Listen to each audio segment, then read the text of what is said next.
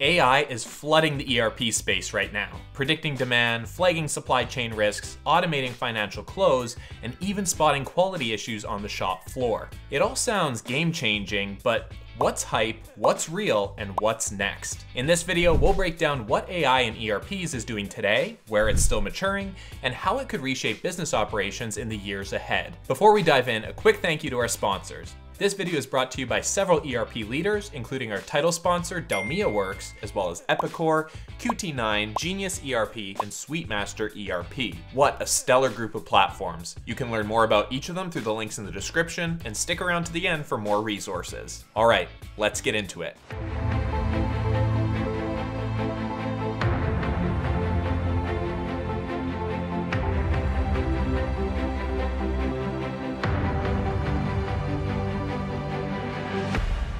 Before we talk about features, it's worth stating that AI is not magic. It's a mirror, and it reflects what you feed it. If your ERP implementation and data are shaky, then your AI results will be bad. Forecasts will be off, cost models will be wrong, and supply chain insights won't be trustworthy. So before chasing AI, audit your ERP hygiene standardize data fields, enforce validation rules, and make regular cleanup part of your workflows. So with that out of the way, what is AI already doing well in ERPs? Here's where AI is already delivering measurable ROI today. Predictive demand forecasting. Using historical sales and external signals, AI models can predict demand more accurately than manual spreadsheets in a lot of cases. Supply chain distribution alerts. Many AI tools are able to flag supplier delays, port congestion, or transport bottlenecks before they even hit your operations. Smart financial close. Automated reconciliations, anomaly detection in transactions, and error flagging in journal entries can save accounting teams a lot of time today with the right setup. Shop floor quality monitoring.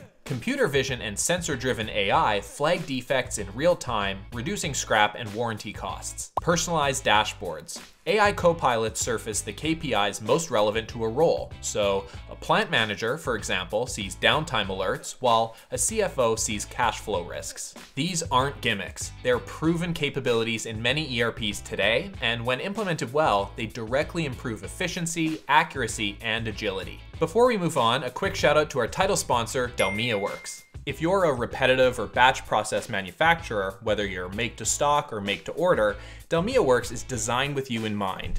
They're an end-to-end ERP built specifically for SMBs and mid-market manufacturers who need help managing repetitive operations on the shop floor and full operational visibility without bolting together a dozen different systems. And here's the kicker. DELMIAWorks believes in choice. You can deploy on-premise or in the cloud, choose perpetual or subscription licensing, and work with either their direct teams or a robust partner network across North America and worldwide. Thanks to DELMIAWorks for supporting this series. Check them out through the link in the description to see if it's the right fit for your business. Now, back to the tactics. Where is AI in ERPs still maturing? AI has made huge strides, but like any new capability, some areas are still maturing. Here are a few examples where innovation is actively ongoing. Long-term forecasting.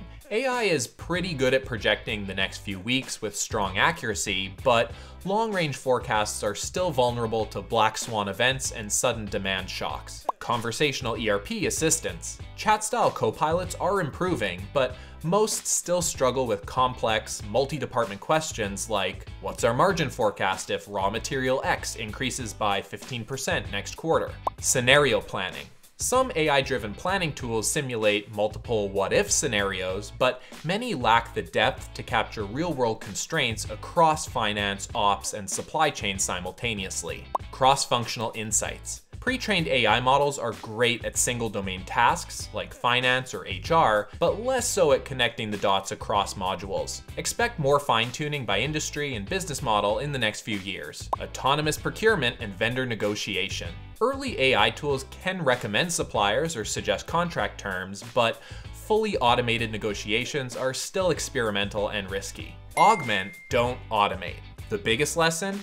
AI and ERP should augment humans right now, not replace them. For example, when a production run finishes, AI can flag anomalies in the output, recommend preventative maintenance schedules, and generate a cost variance report. But the final call, whether to rerun, escalate, or approve, still belongs to human managers. The winning strategy is using AI to reduce noise and highlight priorities so teams can focus on high value decisions. If you want to ride the ERP AI wave instead of getting blindsided, here's what to do today. Clean your ERP data.